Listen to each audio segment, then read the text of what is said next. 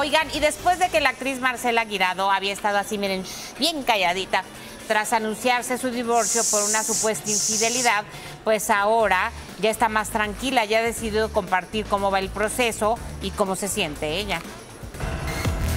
La actriz Marcela Guirado, quien recientemente dio a conocer su separación de Vince Miranda, contó a la cámara de Sale el Sol de qué forma se sobrepone a esta situación. Pues con muchísimo amor propio, eh, poniendo mucha atención en tu proceso, no acelerando tu proceso, honrando lo que viviste y creo que eh, confiando en que siempre lo que sucede es, es lo mejor, no hay error, en la vida no hay error.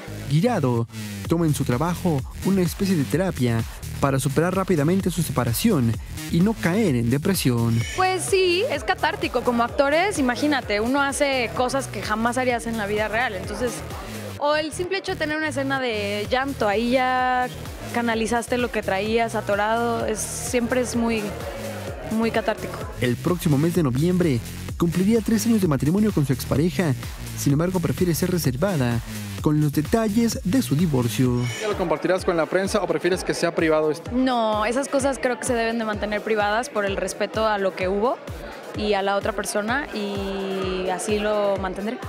Deseándose lo mejor, por supuesto. Claro, siempre. ¿Estás contenta, tranquila? Sí, súper tranquila, súper contenta. Marcela Guirado prefiere concentrarse en sus proyectos. El más reciente, la filmación de la serie La negociadora, protagonizada por Bárbara Mori. Feliz de trabajar con los hermanos Cardona, que no había tenido oportunidad hasta ahora en mi carrera. Y de trabajar con Bárbara, la adoro, es una mujer increíble. Y el elenco en general está increíble. Está Karina Guidi, está Juan Carlos Remolina, está Marco Treviño, Adrián Ladrón. Eh, bueno, un un nivel alto, sí, sí, sí, que, que, nos exige a todos ponernos también ahí. Todos los días sale el sol. Flayo Machuca.